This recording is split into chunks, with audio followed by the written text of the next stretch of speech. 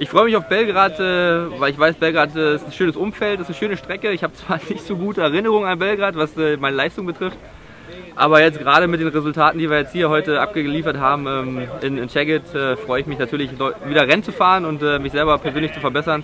Und wie gesagt, Belgrad ist eine coole Strecke und da lohnt es sich immer hinzufahren. Ich freue mich auf den Weltcup in Belgrad, weil ich da noch mal ein bisschen mehr Erfahrung im Vierer sammeln kann und es hier in Szeged schon viel Spaß gemacht hat. Ich freue mich auf Belgrad, weil ähm, wir dort wieder Rennen fahren können, uns beweisen können und äh, unsere Fehler, die wir hier gemacht haben, ausmerzen können und hoffentlich nochmal ein super Rennen runterfahren können und Gold gewinnen. Ich freue mich auf Belgrad, weil es einfach nochmal eine internationale Standortbestimmung ist vor den ähm, Europameisterschaften, Weltmeisterschaften. Ähm, wir dann nochmal gucken können, wo wir stehen, ähm, nochmal jetzt was ausprobieren können in der nächsten Woche und dann nochmal voll ins Training gehen können.